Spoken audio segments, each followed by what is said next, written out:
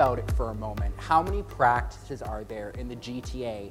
And how many of you are in this room right now? There's that age old saying 80% of success is just showing up. And so the fact that we're all here taking time out of our Saturday today, I think that shows that we're all very committed to growing our practices. And uh, I'm really hoping my presentation today can give you some valuable uh, gems of wisdom to do exactly that. What I'd like to talk to all of you today about is how you can become patient's first choice, how we can really help you stand out in a crowded industry and market strategically. What are we going to learn today? I want to talk to you a little bit about just some of the trends and some of the challenges we're really seeing in the aesthetic industry right now and what they mean for your practice. I want to help you guys understand how you can leverage strategic marketing and what exactly that means to really better serve your patients and again, stand out when there's so many other practices offering similar procedures.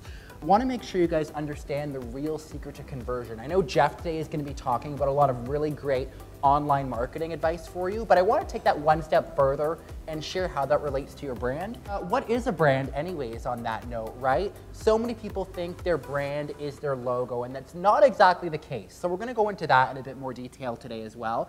And I know some of you may already have marketing staff, whether it's in-house, you may have an agency you're retaining to help you out, maybe you're looking for an agency. I just want to give you guys some really helpful, concrete kind of action steps you can take, questions to ask when you're looking to work with an agency.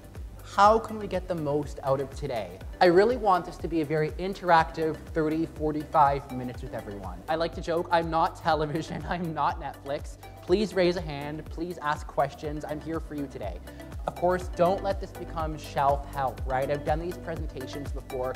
People like, wow, these are great ideas. These are gonna grow my practice. But then they get back Monday morning, people get busy and everything sits on a shelf. So I hope you guys can find some gems of wisdom today and really implement those into your practice as early as Monday morning my personal favorite, DK versus DE, or I already know that, I know that already. I've been guilty of saying that myself when I'm at a seminar or in a conference room. And then a mentor kind of challenged me and she said, if you know something, you're using it in your business every single day and seeing results from it. Otherwise, you've only kind of heard about it. So I would love to challenge all of you to, you know, take everything with a bit of an open mind, even if it's something you may already to some extent be implementing in your practice, and let's see how we can take things a step further. Sound good? Quick show of hands. How many of you right now would say the medical aesthetic space is crowded? Yep. More and more practices popping up every day. I want to share a statistic with you. This is from the ASDS, the American Society of Dermatologic Surgery. In their 2016 customer survey, 50% of patients listed price as their number one factor when they were looking for a provider for an aesthetic procedure. Not location of the practice, not patient outcomes, not the credentials of the provider, price. So that really tells us in another sense, half of all patients are seeing all practices as essentially the same, which we all know they most certainly are not, right? So how did we even get to this place, right? We're in the situation where people almost now are more picky about who their hairstylist is, who's doing their color, than who's doing their medical aesthetic procedures, right? They want to talk to friends of their stylists, they want to create their Instagram, but if you see a Groupon or a sandwich board offering, you know, Botox, $8 a unit, people go running. It's crazy talk, right? So here's how I think and this came to be and who's, you know, at fault for the situation, if you will. So the first thing is, we all know this industry is growing rapidly, right? It grows about 12% annually. It's already a $30 billion industry, if not more, in 2017. So it's that Kardashian effect, right? Even compared to five years ago, uh, medical aesthetic procedures are no longer a taboo. They've really become much more mainstream. So people are seeing them as that, and that's led to commoditization. Um, of course, you know, complacency among providers, right? five, ten years ago, you could just throw up a quick website, do a little bit of advertising, boom, you had patients, right? That's not the situation we're in in today's industry. Good is no longer good enough, right? If you really want to attract patients, if you want to rise above the noise in this industry, you have to be doing something exceptional. Uh, as far as group buying sites, Groupon, Living Social, irreversible damage to this industry, right? How many of you are dealing with Groupon from your competitors or people who have patients kind of talking about others who offer a lower price? Yep, runs rampant, right? The Groupon effect. So there are ways to mitigate that, and that's what we're going to talk about today. Of course, vendor supplied marketing collateral. One thing I will say is this company, does probably some of the best vendor supplied marketing materials I've seen with everything they're doing on social media, Body by BTL. It's incredible. But when you're using the same vendor provided materials with nothing else to supplement it, that all the other practices with that same technology you're using, it really can be something of a challenge and really make it very hard for a patient to see why should I pick your practice over, say, three or four others in this market that are offering the same device. And finally, um, medical marketing companies, right? There are, you know, some of my competitors who mean very well, but their business model is they use templated marketing, templated websites for their clientele. So you see a lot of surgeons, a lot of medical spas website where, you know, they've got that airbrushed model at the top, then, you know, breast, face, body, skin, kind of four bars below that, then a little doctor bio, and then a contact form, right? We really want to make sure your marketing, whether it's online or offline, looks distinct. So that's another thing that I think has led to that situation. And it really is a disconnect, right? The disconnect I see in our industry is there are some remarkably talented surgeons, some exceptional providers in this market who are exceptionally talented, but their marketing is what I say devastatingly uninspired, right? Conversely, you have some providers who may or may not do the best quality of work. You know, being a consultant to many practices, I can tell you all kinds of stories. But people who have great marketing, but the patient outcomes really aren't there. It leaves patients dissatisfied, feeling like they got a terrible value, ripped off, if you will. And it ultimately just lowers the standard in the industry as a whole. So you really need to make sure that your marketing, be it online, offline, your branding, everything you're doing really does your practice justice, right? So that leads us to ask, what is really the solution to distinguishing yourself and rising above lackluster marketing? In every industry, there are commodities, right? Cup of coffee, what does a cup of coffee cost you to make at home? Couple cents if you're using, you know, a Keurig machine, maybe a dollar or so for the pod. A white t-shirt if you go to, you know, well not Sears anymore, but if you go to the Bay, maybe 20, 30 dollars. I mean, water, water is free, right? Water, H2O is pretty much the biggest commodity out there, right? So we do have commodities, Conversely, in any industry, we have brands, right? So let's compare this. Coffee at Starbucks, four or five dollars, maybe more if you get really fancy with it, compared to what you're making for yourself at home, next to nothing. Put a little swoosh on that t-shirt, put a little Ralph Lauren horsey, put my personal favorite, a little Lacoste alligator on there. All of a sudden, that $20 t-shirt now is costing you $100 plus. Same t-shirt, more or less. Branding really does have power. It's all about branding, you guys. Again, as we say, branding is really that ultimate strategy to avoid being compared on price, to avoid being shopped around as a commodity. And, you know, like I say, it's why people will choose you over other practices. It's not a matter of just a certain device or a certain injectable. It really is a brand. And this is the one thing that no competitor can take away from you, right? Your pricing, it can be undercut very easily. People can, you know, copy, you know, the look and feel of your practice from a design standpoint. People can even poach your staff they can sign on with the manufacturer, bring on the same technology. Your practice brand is the one thing that no competitor will ever be able to take away from you or properly duplicate. So it's worth getting it right, it's worth paying very close attention to it, and it's really worth making it something exceptional. What is a brand, right? Again, so many people say, my brand is my logo, or people kind of give me this very vague definition, like, well, you know, it's what you stand for. And those are all parts of it, but ultimately, your brand is going to be the sum of how prospective and existing patients see, perceive, and experience your practice, right? So it's kind of that real estate you own in the mind of, you know, any particular patient or prospective patient, right? Be it in this industry or elsewhere, we all have brands we know and love. They stand for something to us. We want all of you to have your practices feel that same way to your patient base. Why do people prefer to buy into brands? A couple different reasons, right? They reduce perceived risk. I mean, I know if I am dropped into a new country and I don't know, you know, where's a great place to eat, where isn't so great, but I see those golden arches from McDonald's, I'm probably going to go there. I know to some extent what kind of foods are going to be on offer on the menu. I know what kind of service I'm going to be getting, how quick I can expect it, what the quality of food is going to be. So reducing perceived risk is another one.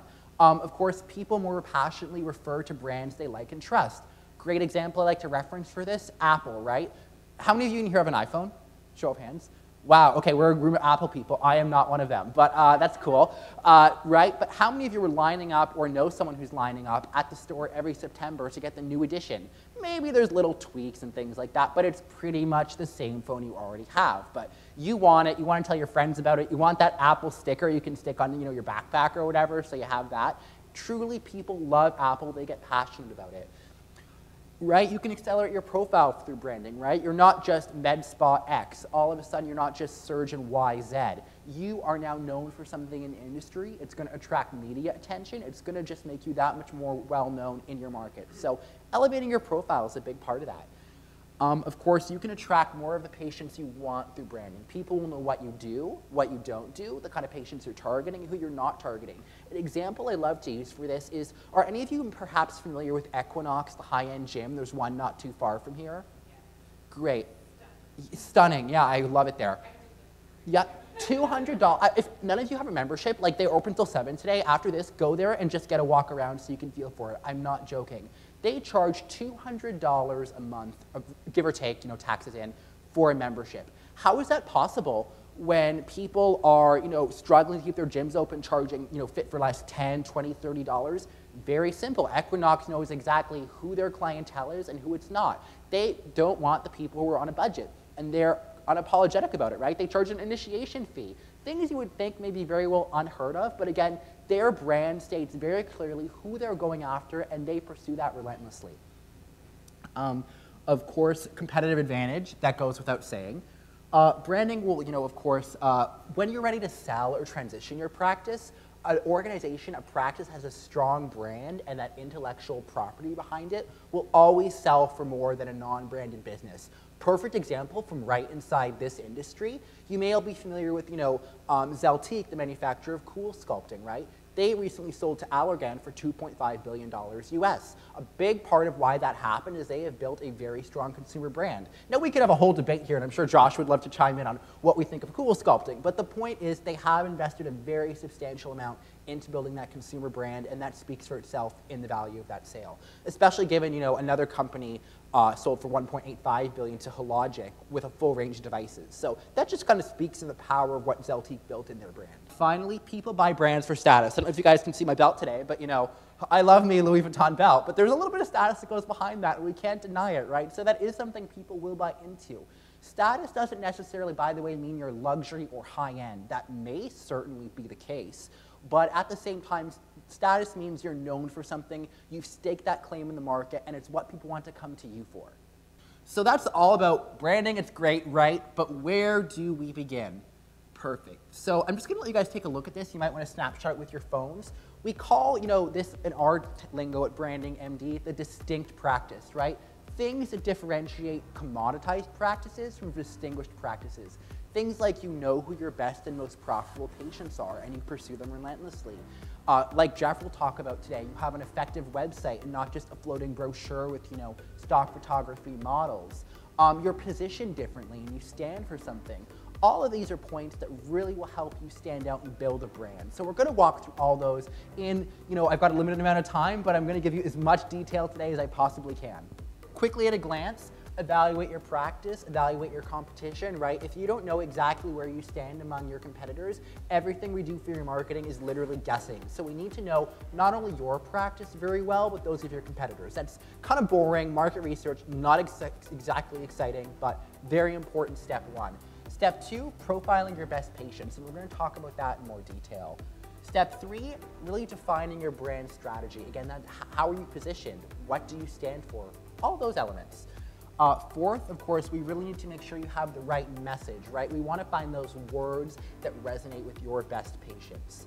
Number five, uh, again, we need to elevate your visual identity. Probably no more anywhere than in the realm of medical aesthetics do I think visual identity matters. We're in the business of selling looking good. So if your business cards, your brochures, and your patient rack cards, your logo and your website need work, it really just creates a really big kind of sense of incongruency. So we're going to talk about how you do that. Again, leveraging your practice website is a big part of that. And then attracting patients with strategic marketing using the right channels. So we're going to talk about that too. So buckle up. Step one, evaluate. Like I said, in order to rise above your competition, you need to know what they're doing well, what they're not doing so well, and conversely, what your practice is doing well, and where there's maybe some opportunity for your practice. Has anyone here heard of a SWOT analysis? Is that a term anyone with a business background may be familiar with? Fewer people? Great. So SWOT, not like SWAT a fly, not like that. It stands for strengths, weaknesses, opportunities, and threats. So think of it like a quadrant, okay? Strengths are the things you're doing really well in your practice or your competitors are doing really well. Weaknesses are, again, those things you can improve upon both in your practice or if you're looking at a competitor, what they may have an opportunity to improve on. And those are where you can become, you know, really find space to create your advantage. Opportunities and threats, those are things that don't necessarily you know, fall under your direct control, but they will impact either positively or negatively the future prospects of your marketing and your practice. Things like maybe changing demographics in your region, things like new regulations around some of the treatments you're offering. Those would be examples of opportunities and threat. Again, is it fun to do this? Not really, but at the same time, if you don't do this, everything else is guessing. So it really is a very important first step profiles. So I want to show you guys a quick little video here. Does anyone remember the kind of game you had as a kid, Guess Who, with the blocks and the cartoon characters? I'll show you a fun little video for it. Is it me? Is it you? Who knows? Guess who? Can you guess who? It's a mystery. Does your person wear a hat? No. You're history. But I'm still here. Can you guess who? Does your person have a beard? Uh-huh. You're out of here. Can you guess who? Do you have a clue? Does your person wear glasses? Yes. I'm gone. Me Can too. you guess who? Not you or you. You're Sam. You win. Let's play again. Can you guess who? Guess who? Game cards do not actually talk. When we look at who your best patients are, that's kind of in a sense what we're doing, right? Golden rule of marketing, not everyone will be your patient, right? If you try to be all things to all prospective patients, you're ultimately not going to end up meaning much of anything to anyone. So we really want to define who your best patients are, right? And at the same time, there's kind of two ways you can look at that. Your VIP patients, if you will, right? These are those high-end patients who are coming in, spending without questioning your procedure fees, who are gladly referring their friends. Maybe they're posting about you on social media. You know, the kind of people, if you had a practice full of them, you would just be happy as a clam. At the same time, you might have, you know, I call them some learning opportunities. You know, obviously you did your very best for these patients, you're doing great work, but some people are just never happy, right? What common denominators can we find both between your very best patients and those patients you really hope don't come back to your practice and you refer them to a competitor with, you know, the most, you know, amicable spirit possible, right? So some things we want to look at. Demographics, activities and behaviors, dreams and expectations, decision criteria, and meeting their needs. Now, have any of you heard of the marketing term a buyer persona? Does that ring a bell for anyone? Okay, cool. I love telling people about this, so this is great. We call it in branding MD lingo a patient profile. We want to create a picture of all, like we want to give them a name, right? We did one for a client the other week. Her name was, you know, Jenny Cathedral. And basically, we put all these into a tangible kind of profile of this person and actually put a picture there of what she looks like. And that seems like it's a little much. Like, why do we need to know so much about our patients, right? Well, it all flows into every other part of building out your brand and your marketing. We want to know who your best patients are. You may not have one type, you may have two or three, but we want to know who these individuals are so, so well that every marketing message we create, be it on your website, in a brochure, every element of your patient experience, it's like they're going for coffee with their best friend, right? That's how well you can speak to their needs. That's how well you can cater the experience to what they're looking for. So that at the end of the day, even if someone does offer a lower price, they don't want to go there because they know their needs are going to be met best by your practice. Then once we know your patients, I mean, how do we really make sure that you stand out and create an experience and a brand they can remember? Well, this is all about your brand strategy.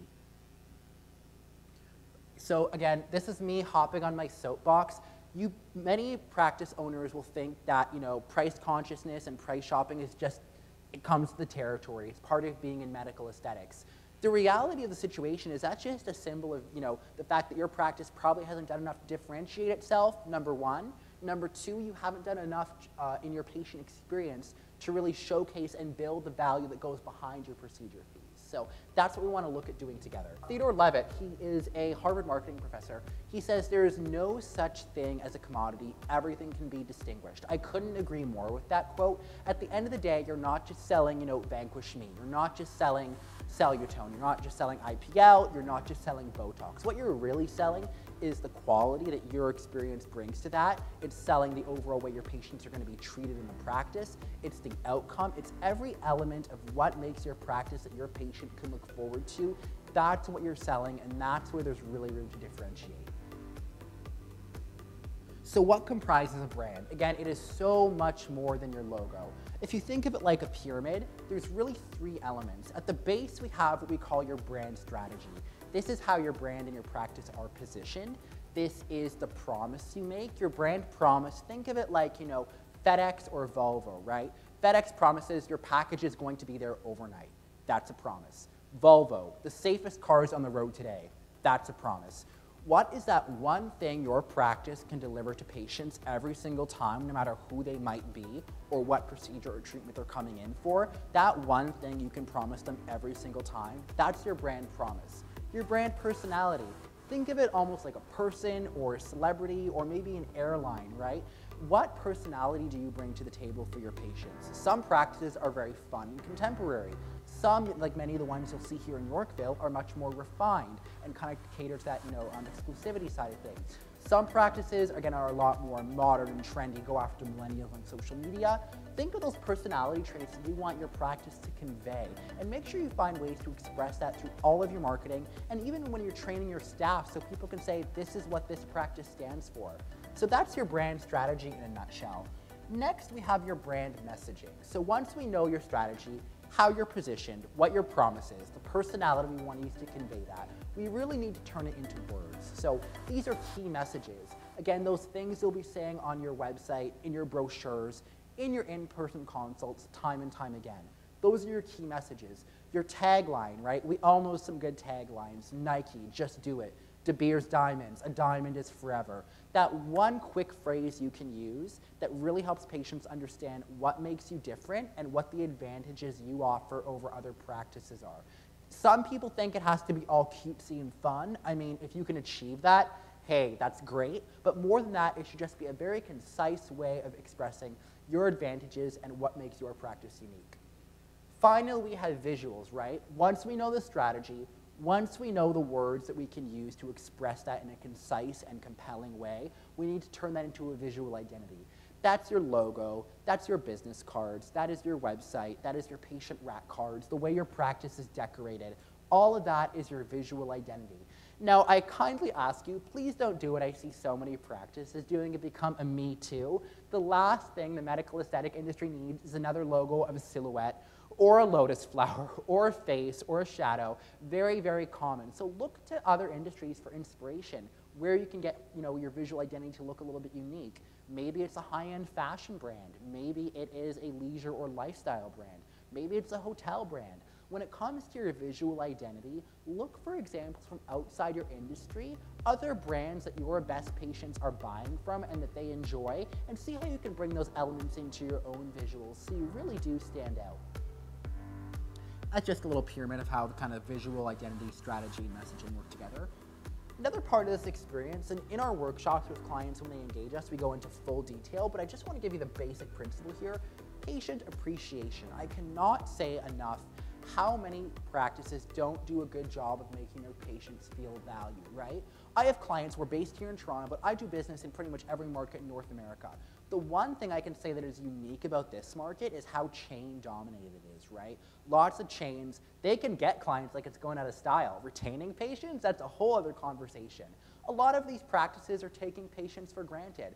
And it really is the little things, whether it's just a handwritten letter, you know, you're thanking them for their procedure, or maybe it's just biannually you have one of your staff members give them a quick call, not to sell them something, just to say, how are you doing? Is there anything else you wish we offered? How can we make your experience better next time you come in?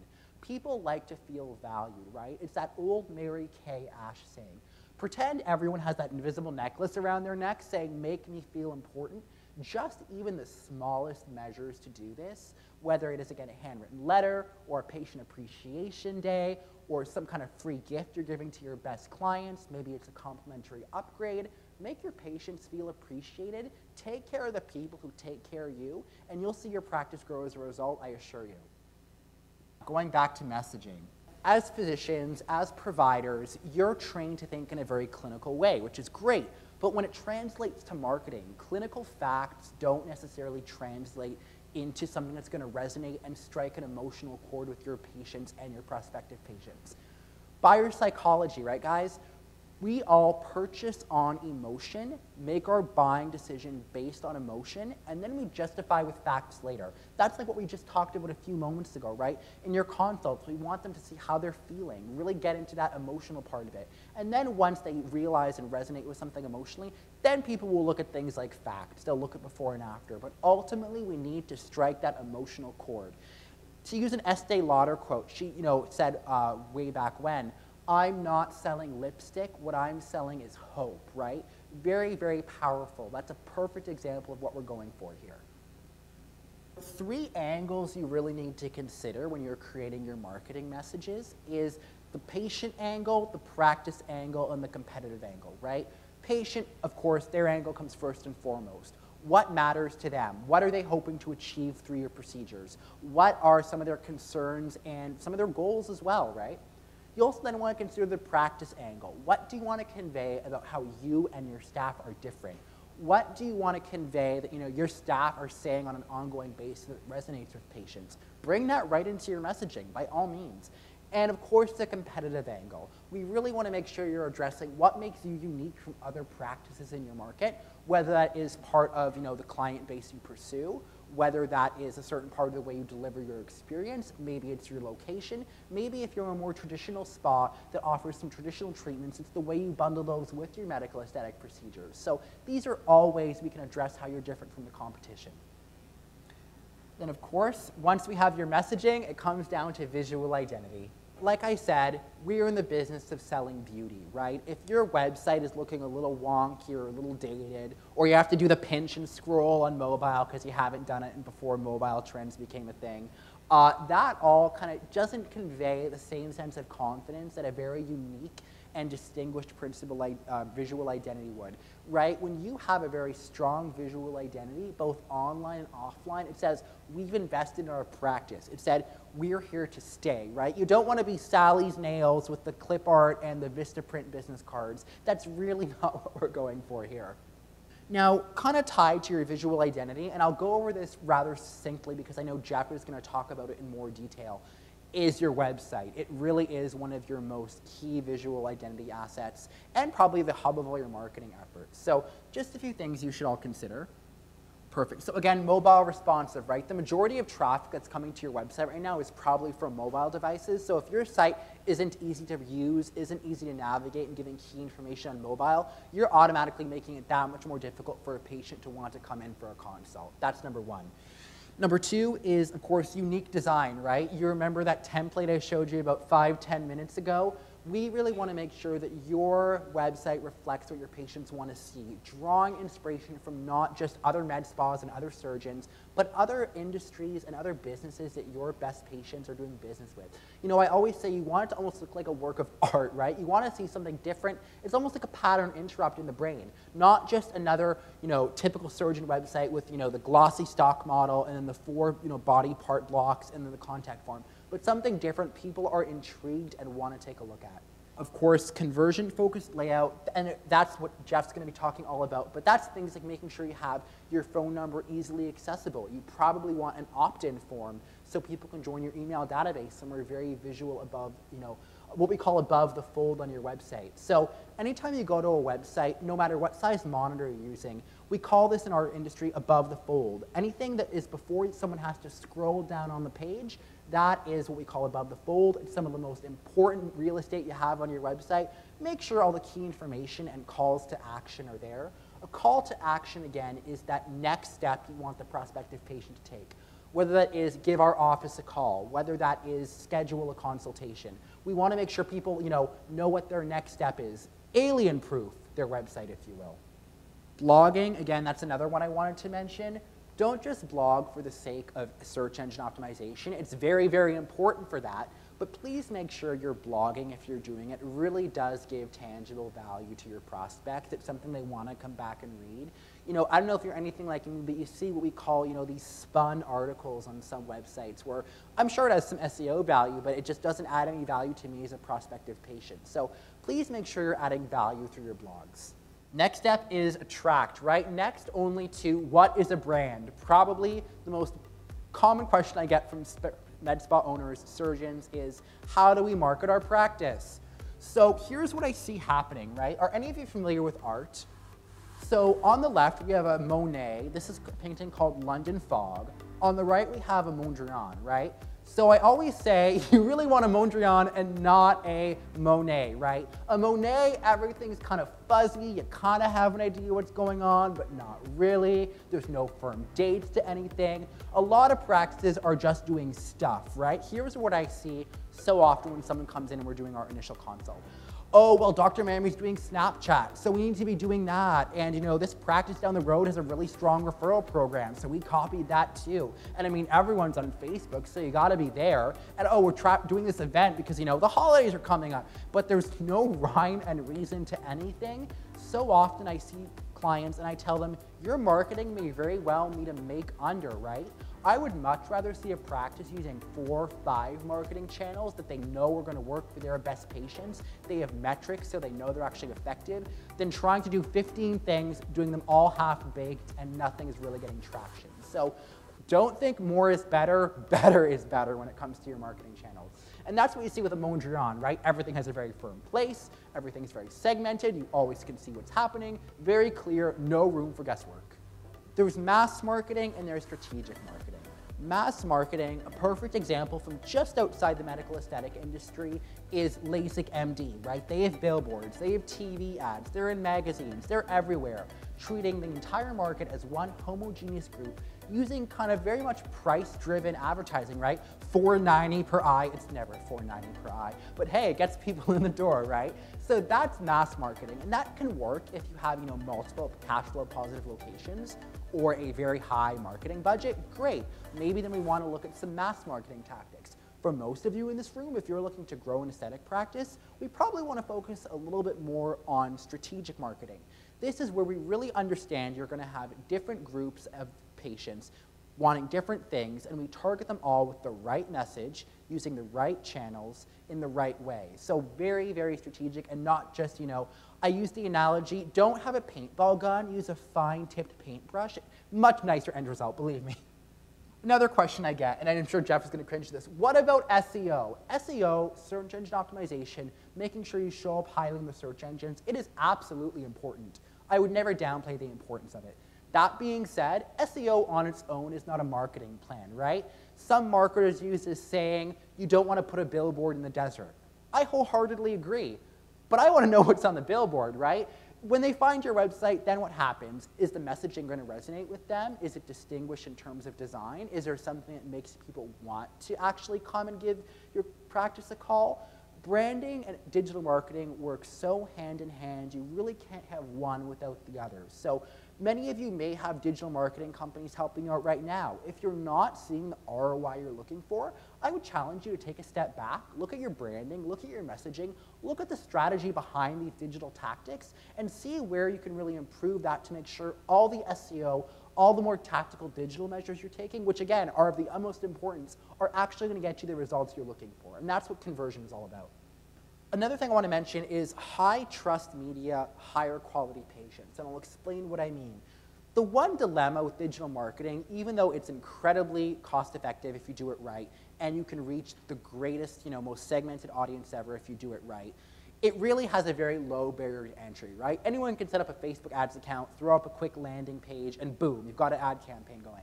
If you're doing something like planning an event or some print media, well, that has a much higher barrier to entry, meaning cost to it, and people are going to recognize that. So this is just another little comparison table you might want to take a snapshot of as well, helping you understand what separates mass marketing from strategic marketing. Uh, in the world of marketing, you can think of mass marketing more like that brand advertising. You could think of strategic marketing a little bit more like direct response advertising. This all sounds well and great, but what does this look like in terms of tactical strategy? You really need to think of your marketing strategy in three elements. For a little acronym, I call it ACE. You want to ace your marketing, right? The first phase in your marketing strategy is to attract, right? You need to use all of your different marketing channels, whichever are best for your practice, to drive that traffic. That is, calls to your front desk, people opting in on your website. That's the first step. They go from being an anonymous visitor to a qualified lead. So, great. Now you've got their contact information. What do you do with it? Um, and by the way, C and E, convert and engage, a lot of practices miss the mark on that. I'll tell you a story in just a moment. Um, convert that's where we want to use patient education and different avenues to really make sure that we convert them from this random lead to a booked consultation that shows up. And from there, we want to get them on the calendar with a scheduled procedure. So there's different ways we can achieve that, and we're going to talk about that together. Once we have that done, we want to engage your prospective patients and your leads. Whether someone says yes to your procedure, whether someone says no, or whether they say that they're unsure and they'll think about it, we want to make sure we don't just let them go off into the, you know, into the sunset. We never hear from them again. We really do want to make sure that we're engaging them in a very specific way, whether that is a current patient or a new patient, to leave you reviews on the appropriate sites for your practice and get referrals from their contacts. If they're unsure, great. We can use marketing automation and lead nurturing campaigns to warm them up, give them information they need so they come back in and become a yes. And even if they say no, well, that's fine, but we don't just want to abandon them. We want to follow up gradually on a long-term basis. A quarterly or monthly newsletter via email is a great way to do that. So maybe in 6, 12, 18 months, when they are ready to think about that procedure again or have another procedure on their mind, your practice is the first one they're going to call because they remember you. So this is just a fun little graphic of how all that works together. Again, you want to start with the attract phase, get those calls into your front desk, get those opt-ins on your website. From there, you want to capture their contact information. Then we move right into convert, which first will be for a consultation and will then be for a procedure. Finally, again, no matter what happens in that consult, a yes, an unsure, or no, we want to make sure we engage them. So I think you guys will love this next slide. People always kind of ooh and ah at it. This is your list of marketing channels for every phase of the marketing plan for attract, for convert, and engage. Like we talked about a few moments, I beg of you, please do not do all these marketing channels at once ineffectively. Start with maybe three or four channels for attraction, for conversion, and engagement. And then once those are mastered, once you have metrics so you know that they're working, then we can move on to adding into your marketing plan. Now, if you have an internal marketing staff of five people and you know $10,000 a month to spend on ads, great, let's go for the, uh, you know, more than that. But I would really encourage you to just start small and go from there. Do it right or don't do it is the way I look at it. Not all these practices, you know, not all practices are going to use the same channels, right? We have one client in New York City, they do 8 to 12 minutes of live video a day on their Instagram, but they go after millennials in a very big way. Then we have another client in North York who is using a lot of internal marketing to market the aesthetic element of her existing general practice, right? And her clients veer more elderly, and they're in a cultural community that's not really big on social media. So we do have an Instagram for her. We do have a Facebook page for her, of course, but we're a lot more subtle there, right? One size does not fit all for marketing. There are many avenues to attract patients. Find those that are going to be most cost effective and best for your patient base. Um, I do want to give you a, uh, one metric you should all be tracking, which is your patient acquisition cost, right? Say you spend $1,000 on a Facebook ad campaign and you get 100 leads. Well, great. So then you know your cost per lead was about $10. So that way, when you take all of your marketing channels and look at your patient acquisition costs, you can see which is lowest and which marketing channels are actually working for you, right? None of this guessing, Dr. Miami's doing it, the other practices are doing it, so we have to too. That is not a strategy. So that kind of wraps up your marketing channels. I do just want to give you some tips here for when you're talking to possible marketing partners or even just evaluating the performance of the you know, marketing staff or agency you already have. Chapter 10 of the book you're all getting talks about this in more detail, but make sure you understand things like who is actually working on your project? Is the executive team going to be devoted to it, or are they just pawning off to some account manager or a junior rep? Um, how unique is your marketing going to be? Are they going to actually do something bespoke for you? Or are they just putting you know, your colors and your logo on a template they've already given 15 other patients, which is incredibly common in this industry, by the way. Um, things like what value can they bring to the table? What kind of expertise do they have? Can they only help you with a few things or can they help you with a very strategic approach, right? If you're working with a company that only does SEO, maybe they're great and that's great. We don't want to jeopardize that relationship. But is that a comprehensive marketing team? Maybe not, right? It's that saying, when all you have is a hammer or one way you approach marketing, every problem looks like a nail, right? So we want to make sure you have a marketing team at your disposal that can handle all of your marketing needs. Whether that is internally mixed with some agency, whether that's an agency that does a comprehensive list of services, whether it's somewhere in between. Just make sure you're addressing things from every angle when it comes to your marketing approaches. Um, and also another thing is, if possible, look for an agency that gives you exclusivity, right? In other words, we don't want you to have a marketing company that hires, you know, you hire, and then they're helping two spas down the street, right? That's really counterproductive. And you have to see, do they have your best interests at heart? So we do offer to varying levels exclusivity to our clients. I mean, at the end of the day, it's just about doing things in their best interest. So that's one thing I'm really adamant about. Another thing that I didn't put on here is make sure you work with a company that understands the Canadian market. If you're working with an aesthetic marketing company based in the United States, and there are some good ones, just make sure they understand how the Canadian market works, right? I have lots of clients in the United States, but I can tell you, as a Canadian and with clients here, what works well down south does not necessarily work up here. You can email people in the US like it's going out of style. Like you can email them every day, they'll open everything. That does not work up here. Uh, and of course, we have now CASL legislation, Canadian anti-spam legislation. It's also a lot more stringent than the spam regulations in the US. So even though our markets are so similar, at the same time, they are quite different. So that's another tip for you. I want to know that you have a copy of all the slides today. I'd be happy to send to you. I'd also love to give you a copy of a marketing calendar so you can plan out the rest of your 2017. There's just a quick URL you can grab that from if you would like. and you just have to enter a quick few details. We'll send that right off to you and you'll be good to go. And of course, as Josh mentioned, you've got my book today. So I think that's going to have a lot of very actionable insights and some great ideas for you. So that's pretty much everything I wanted to cover, but thank you so much for your time today, guys. I hope you got some gems of wisdom.